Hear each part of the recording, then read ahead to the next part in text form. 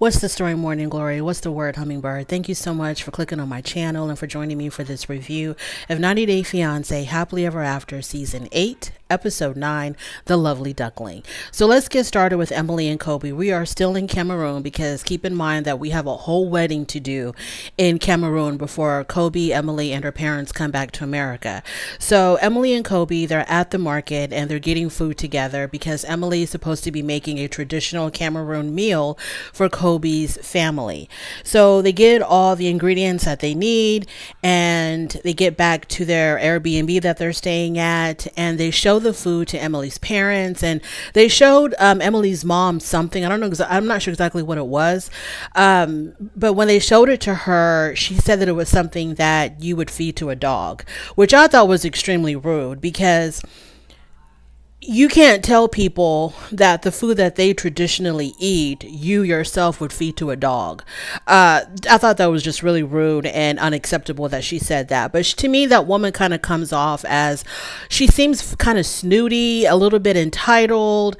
Um, she just has this air of, I don't know what it is, like an air of superiority about her.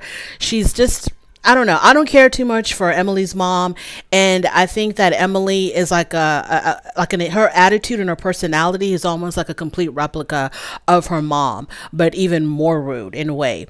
Um, the only one that I can tolerate is Emily's father and Emily's sister. But anyway, so the mom says something really rude about this particular item of food, saying that it's something that she would feed to a dog.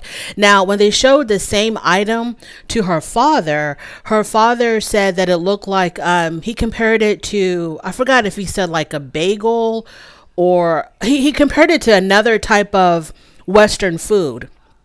He didn't say that it was something that you would feed a dog. And you know he can kind of he just compared it to another type of american or westernized food. He was nowhere near as rude as his wife was. So um, Kobe's sister, she comes over and she is going to be teaching and helping Emily make this African meal. So the next morning, Kobe, Emily, and her parents, uh, they're out having breakfast. I think they're sitting on the veranda or the front porch of their Airbnb, and they're making they're talking about the wedding preparations, and they're gonna have like a very traditional Cameroon wedding and so, like, there's a list of things that Emily's parents can ask for from Kobe's family. And so, David, Emily's father, some of the things that he wanted was an umbrella, a goat, um, African shirts. and then, when it came time to talk about the dowry or the bride price, all of a sudden Emily's mom is highly offended. And the idea of like selling her daughter for a monetary value, um, it's just not sitting well with her at all. So she's telling Kobe how, you know, this is going against everything that she believes in. You know, how are we supposed to sell our daughter, you know, put a monetary price on our daughter? And I'm listening to this woman and I'm just like, girl, please don't act like this idea of selling a person is uh, is new to you. Uh, you do understand the history of the country that you that you came from. Um, so don't act like this whole idea is like a shock to your system. It's absolutely new to you. It's absolutely foreign to you. Um, considering you know the history of the United States and slavery, et cetera, et cetera. I'm not saying that she should like the idea of selling her daughter to Kobe's family, but the way that she was just so like horribly offended by this. It was like something she's never even heard of. So Kobe and Emily's father, David, they kind of understood. They were like, you know, it's not like you're literally selling her to Kobe's family. Um, it's like a, it's very symbolic. It's just symbolic. Uh, it's a way of them showing their appreciation for you giving them their daughter because in I think in these type of cultures, um, the bride dowry and all of that, which is very well known across the world, so many different cultures and countries uh, have followed this type of tradition. It's kind of like you know the family of the bride; they're giving up their daughter, someone who would be very resourceful for the family. You know, she would do the cooking and the cleaning and helping out her parents and helping the family and do all of that. So they're giving all of that up. And so in turn, um, the groom's family will compensate the bride's family with money. And so Kobe's trying to explain to his mother-in-law that this is just symbolic. You're not literally selling her.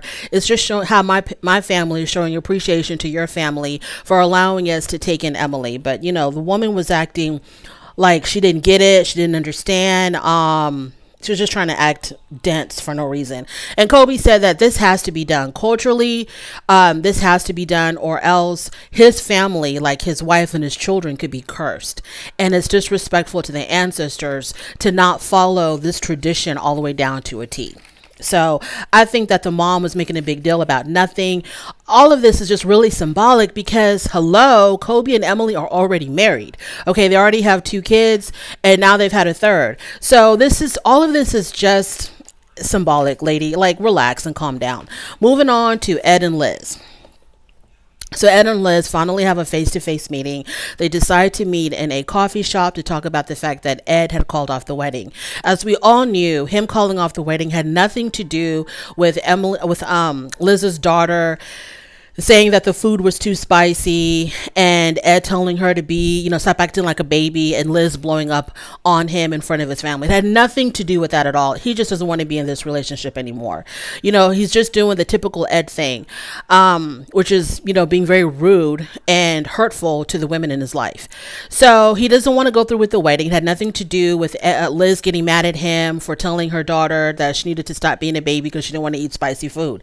So, Liz, I don't know what's wrong with Liz, but Liz was like saying how she doesn't want to give up on her relationship with Ed. She still wants to make things work out. And I'm like, I need Liz to tell me get just list three things. All I'm asking for, Liz, is three things of why you love Ed so much. What is it about Ed that we're not seeing that makes you want to stay in this relationship with him? Because ever since I've seen them together, it's just been like he's so rude to her. You know, he's extremely rude to her. Um like rude to the point where he'll say things that hit below the belt. Rude to the point where like he'll just embarrass her for no reason in front of people and it always seems like she's the one that's really trying to keep everything together. She's the one that's um, showing all this love and affection to him. I just need her just three things, Liz. Tell me just three things of what you see in this man that makes you want to stay with him after after he has called off the wedding and told you that he didn't want nothing to do with you. Just three things. So she tells us that she doesn't want to give up on her relationship. Uh, she also says that she's upset that she had to find out from other people that he wanted to end or he wanted to call off the wedding because, you know, he was too chicken to tell her himself. Um, Ed tells her that he just wants to be single and he wants to work on his career. What career? what is Ed's career? His real estate career that they barely that they're not even licensed yet. Like what career is he trying to work on? Liz said that she helped him become a better man she helped him become a better man. And so like all this work that she's put into him, it was all for nothing. But now, cause now he's going to, um, all the improvements that he's made, another woman is going to enjoy. Now, I don't know what the hell Liz was talking about because to me, Ed actually has kind of gotten, well, he's always been the same. I can't say he's gotten worse or better. I don't know how she's improved him. To me, it seems like he's even nastier than he ever was before. So, he says that he fell out of love with her. I'm beginning to wonder if it's another woman. If he found like a younger, better model. And so that's what he'd rather go for for the next round of 90 Day Fiance, whatever. Um, because it just like it was so abrupt like all of a sudden y'all are planning this wedding everything is falling into place you're begging her mom to give you a chance to try to get to know you better because you promised her mother that you're going to take care of liz that you're good for liz then all of a sudden you're calling off the wedding is there another woman involved like what the hell is going on excuse me so he says he's fallen out of love with her and Ed says, well, if you ever meet anybody like me, please run. And Liz says that she doesn't want to meet anybody else. Liz, three things. three things, please. Just list me three things of what it is that you find so irresistible about Big Ed. What is it? I can't even say that it's his personality. He might be funny. Ed might be funny. I think he's got, you know, he's got like a a very dry sense of humor. He might be funny. What do you find so appealing about Big Ed Liz? I need to know what the hell is going on because I don't get why you're sitting in that coffee shop crying, crying your heart out you can't even breathe because you're crying so hard uh, with this because this man is breaking up with you. Like, how did you let it get this far? And so Ed says he wants to work on his career, right? He has to break up with her to work on his career. And I'm thinking how Liz gave up her career to be with him because she was um, partners. She was a partner in this um, restaurant back in California. You know, one of her friends had asked her to go into business with him in running this restaurant. And she gave all of that up to run to Arkansas to be with Ed. She gave up all of that for Ed. And Ed is like, I'm not going to give up a damn thing for you. In fact, I don't even want to marry you anymore. I want to be uh, free and single. Moving on to Rob and Sophie. Okay, side note Sophie's mom got arrested, like in real time. Um, there was a mugshot of her going around on the internet. I forgot what she got arrested for. Um, people were speculating that Sophie's mom is still um, She's still a substance abuser. Um, she just got arrested. I forgot what she got arrested for. I didn't even bother to look it up. But her mugshot's out there. So she's been a very bad girl, but she's got the audacity to talk about Rob when, you know, her own stuff is completely messed up. Anyways, moving on. So Rob and Sophie, they're on their way to couples therapy. Um, Sophie tells us that she never found Rob's second phone. Um, whatever, who cares? They're at the therapist now and they're talking about how they met, how they met online. When people say I'm we met online, I need to know. What do you mean you met online? You met on an app? You met because you slid into somebody's DMs? You met like how did y'all did you meet like how do y'all meet online? Like what does that even mean? So Rob said at the time that he met Sophie, he was looking for a girl that was really down to earth. I guess he's still looking because I don't see Sophie as anybody that's down to earth. I don't see that at all. Um, to me, Sophie seems to be very high maintenance. She seems to be like one of she's like a Kardashian wannabe or something, where it's all about you know um, selfies and duck lips and you know wearing things or like three sizes too small to show off you know your attributes online. I- I've yet to see anything about Sophie that's down to earth. So Sophie brings up the whole online cheating. Oh my God the, as much as she brings up online cheating, is he still doing it, Sophie? Is this the reason why you keep bringing it up? Because I'm so sick and tired of you bringing up his online cheating. Because I thought y'all had resolved that. I thought Rob said he had stopped doing that. You decided to still marry this man because you he told you he stopped doing it. You keep bringing it up as if he is still doing it. Is he still online cheating? If he isn't, if he stopped, if you don't have any proof that he's still doing it, why are we still talking about online cheating a year or so into your marriage? So she talks about the online cheating. She talks about the lack of intimacy. She said that she cut him off um, because of the fact that she keeps thinking about the the women that he follows online. Um, they keep popping up into her mind, so she feels like he's more attracted to that type of woman than he would be to her. So she doesn't feel desirable at all. So there's no intimacy between them. Plus, he constantly makes her want to put on costumes, and she doesn't want to do that. Like you know, she feels like the only way that she can find me attractive is if I'm if I'm if I'm wearing some type of a maid's costume or a bunny costume. So there's no more intimacy between them.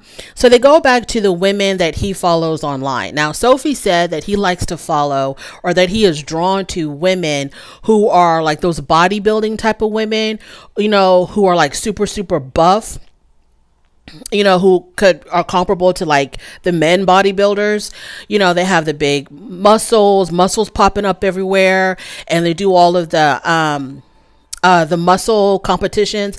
That's the the impression that she was giving me when she talks about those are the women that he's attracted to. Those are the women that he follows. And Rob says absolutely not. He says that's not what I'm attracted to.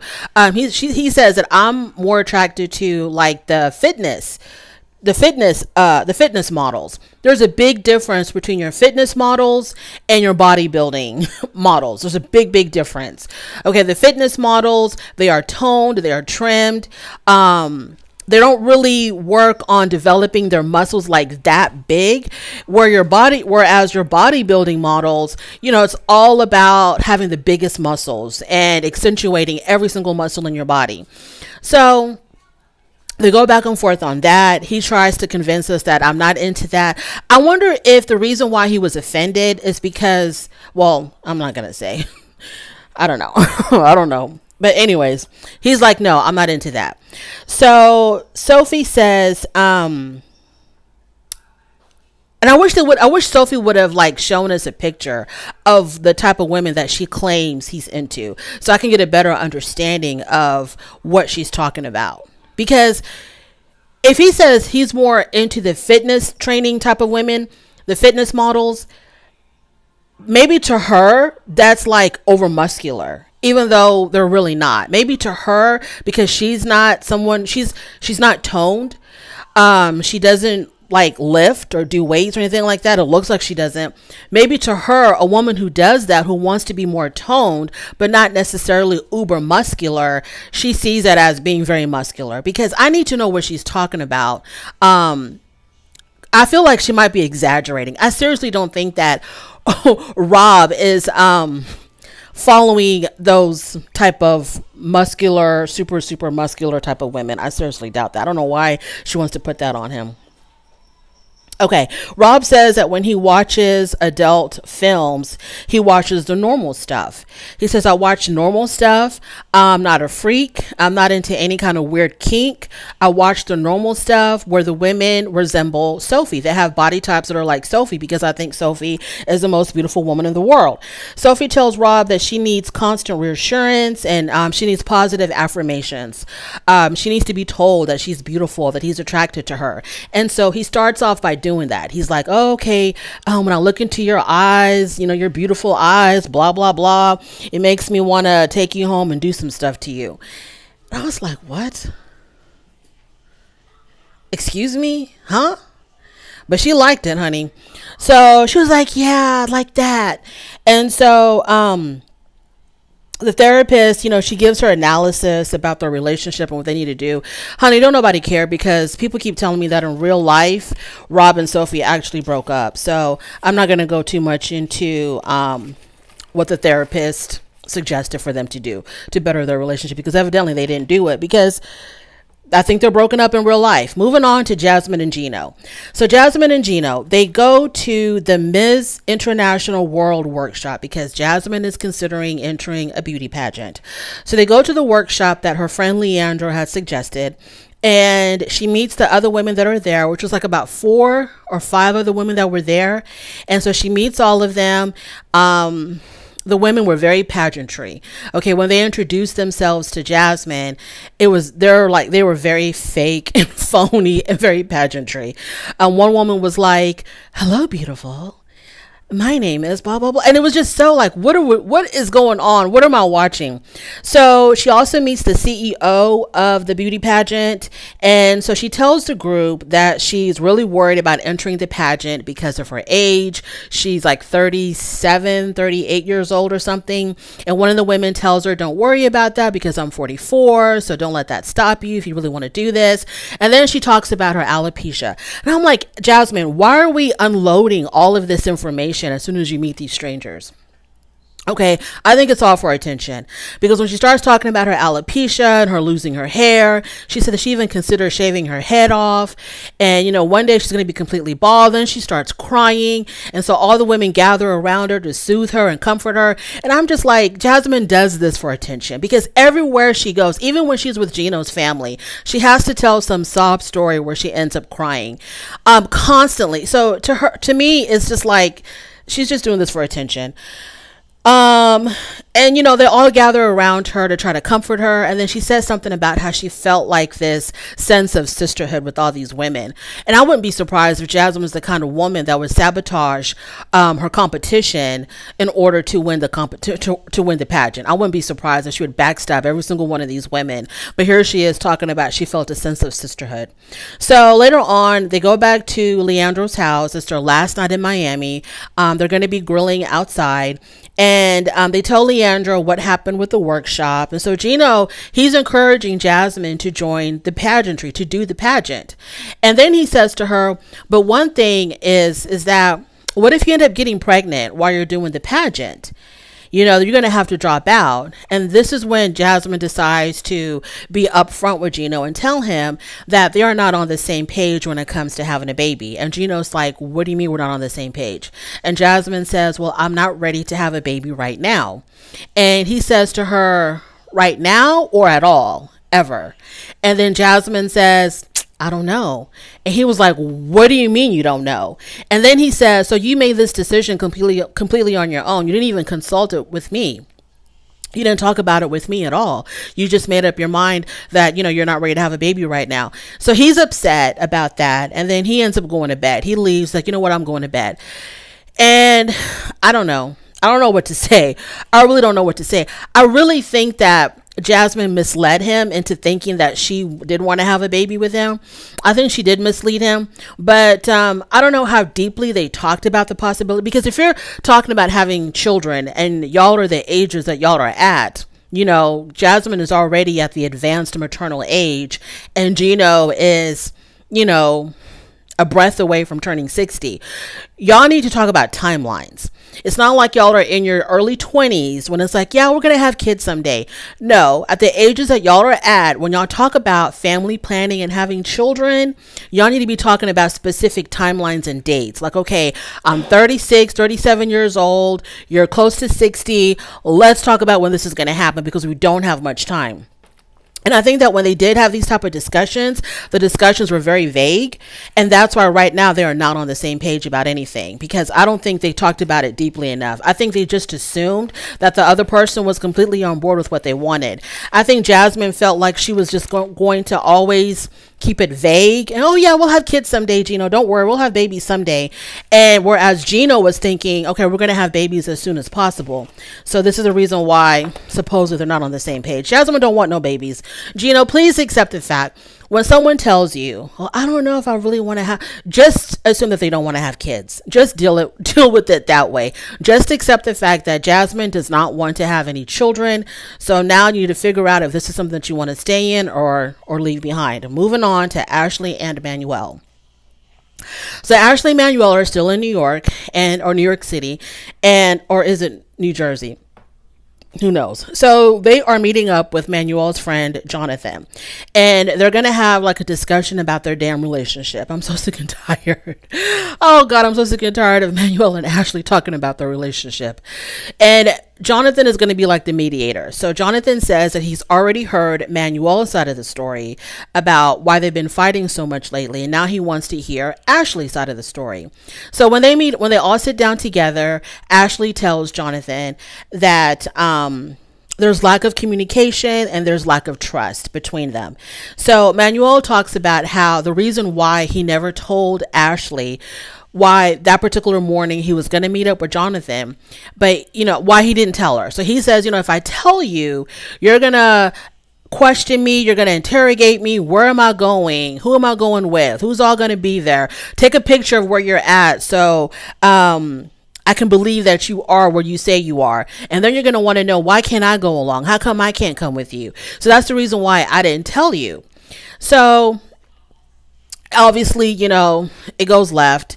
And um Manuel ends up walking away because they're arguing. So he ends up walking away and Ashley starts crying and she says, even though, you know, we're having all these issues, I still feel bad for the guy because in Rochester, there's not a big Hispanic community.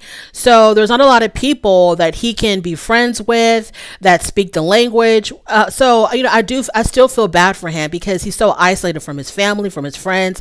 So I still feel for the man, even though, you know, he treats me like this.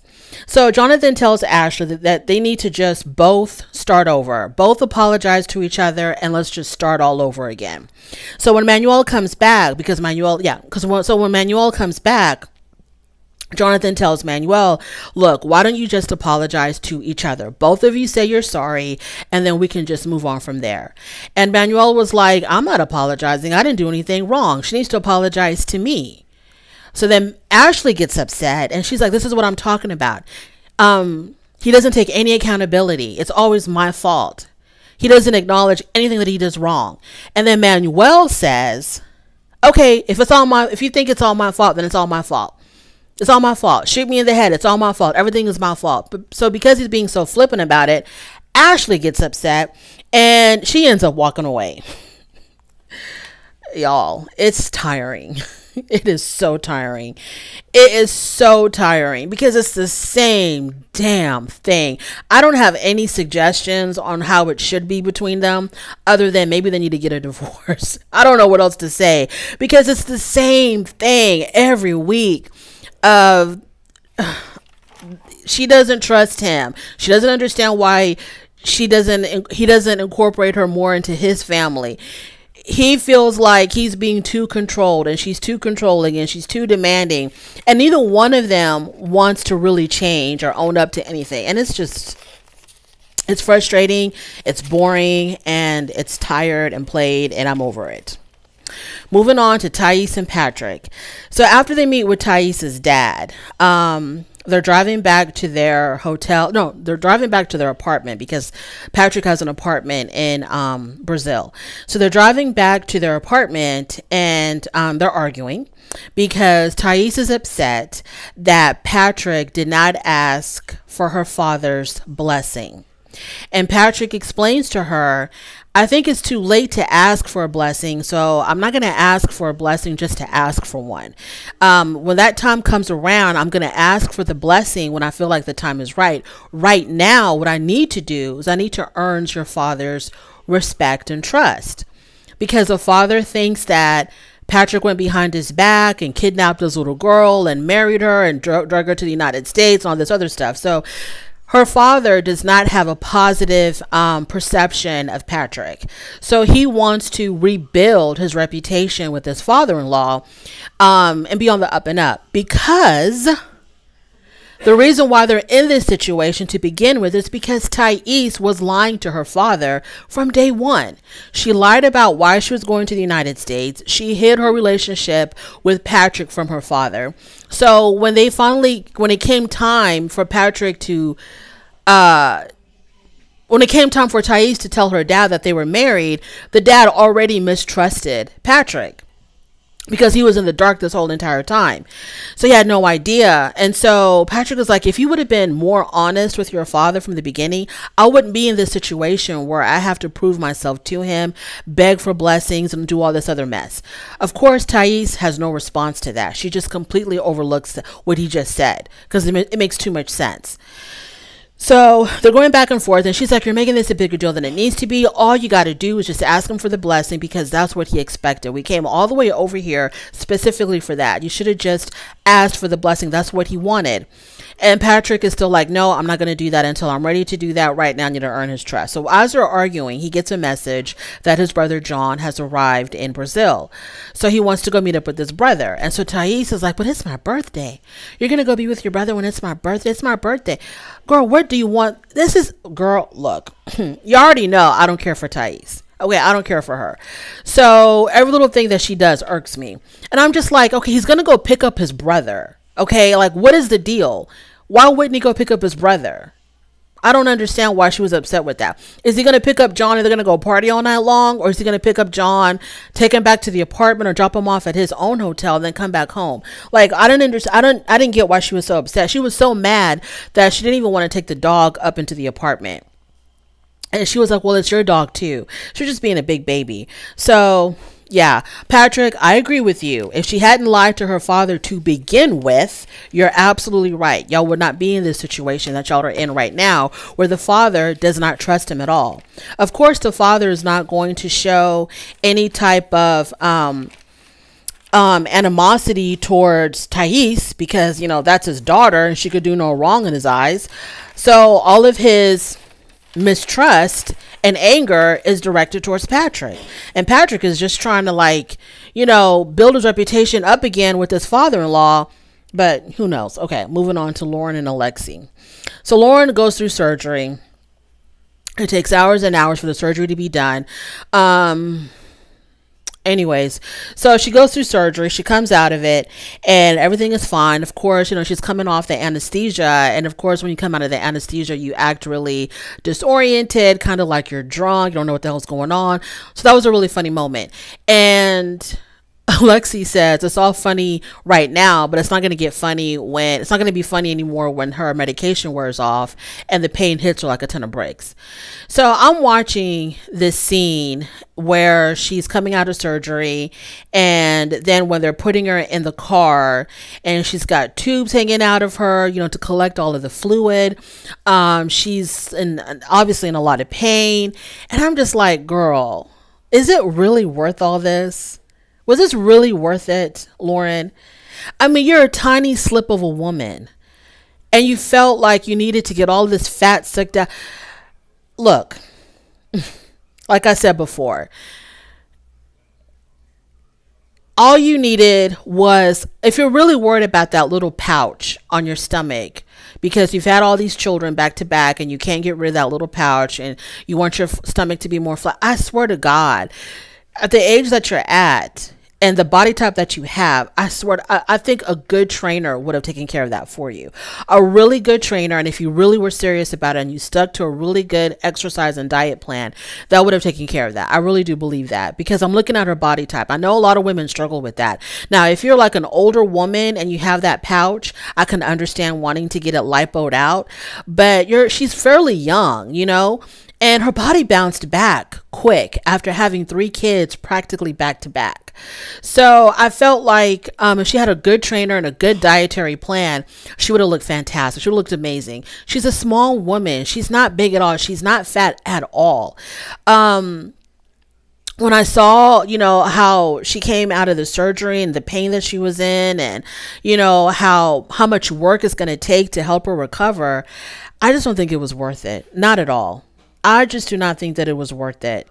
And if you wanted bigger boobs, just say I wanted bigger boobs. I mean, I just don't understand. Like, if you, I don't know. She claims that you know she wanted to. Oh, I, I don't know what to say. I just don't think it was necessary. She's an attractive woman. She's young. Um, she doesn't look like she just had three kids. She looks great. Her natural body looked great. And if she had like a good diet plan, that double chin would go away. Her stomach would get flattened. Um, unless she feels like after all of that, she still wanted a bigger butt and bigger boobs, okay, then just say that that's what you wanted. That look, even if I would have exercised and all the fat went away, my butt still would have been flat and my boobs still would have been small. And that's what I need to work on the most. I need all of that to be bigger. Then, girl, then just say that. You know what I mean? Just be honest with it. But I don't know. I just felt like it's not really necessary for someone who looked like her. Now, there are some people I can look at and be like, yeah, you need to get something lipoed out. You need to go through plastic surgery. Yeah, you need it. But then I look at her and I feel like she didn't need it. She did not need it at all. I just hope that this is the last time, the last time that um, she goes under the knife for cosmetic for cosmetic reasons you know, she was a very attractive girl to begin with. It's really sad that, you know, she's suffering from, she says she's suffering from body dysmorphia, which is the same thing that Jasmine claims that she's suffering from. And I'm like, is it really body dysmorphia or is it that you're just really trying to achieve the impossible? Thank you so much for joining me. I really do appreciate on your way out. Please don't forget to rate the video. If you like this content, subscribe to my channel and I'll definitely talk to you later. Bye.